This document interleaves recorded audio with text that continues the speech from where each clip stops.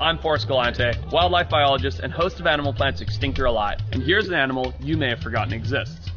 The Portuguese man-o-war, sometimes called the floating terror, is a floating, stinging animal that lives in the Atlantic, Indian, and Pacific Oceans.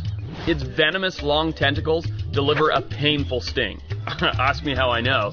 Contrary to its appearance, the Portuguese man-o-war is not a jellyfish. It's actually a siphonophore, which means it's an animal made up of thousands of tiny living polyps that create one functioning individual animal.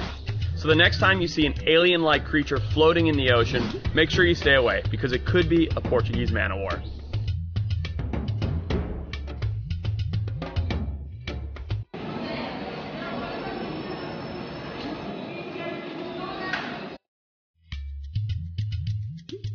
I'm Forrest Galante, wildlife biologist and host of Animal Planet's Extinct or Alive, and here's an animal you may have forgotten exists.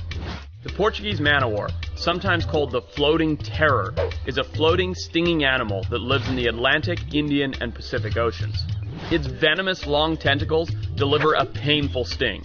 Ask me how I know.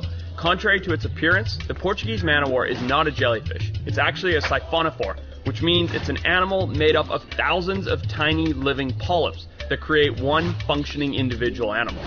So the next time you see an alien-like creature floating in the ocean, make sure you stay away because it could be a Portuguese man-o-war.